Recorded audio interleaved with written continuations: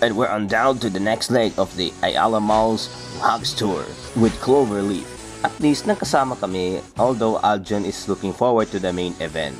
So heto na, kami apat, si Emmanuel, Raven, Rene, and uh, yeah, that's actually me. Um, actually, may ginagawa kasi si Rene in that afternoon. So yan. So, um, nagpipicturean muna kaming tatlo. So, kapag hihintay, I thought he was not going to make it. Yun pala, umabot.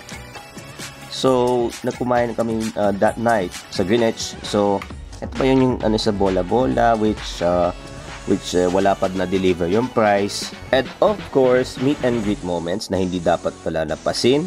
Yeah, while waiting for the next batch, akala kasi 2 p.m. naubusan na yung 2 p.m. So at ma- as much as possible dapat na-reserve agad. Yung 2 p.m. Uh, yung mga napuno na after 1 p.m. Tapos nang ano pag na meet and greet kami tatlo after the donation, 3 p.m. na agad. What just happened? Yeah, that that was my thought. Uh, that, that is also everyone's thought nung naubusan na. Well, as long as na-meet ko na yung mga bear bears. And remember, may phobia sa mga mascots. Uh, that's my uh, that's my friend Raven.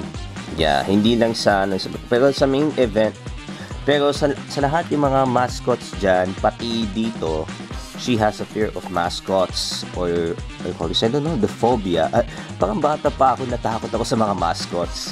Well, for me, right now, ay, sanay na ako. Gusto na yakapin yung mga bears.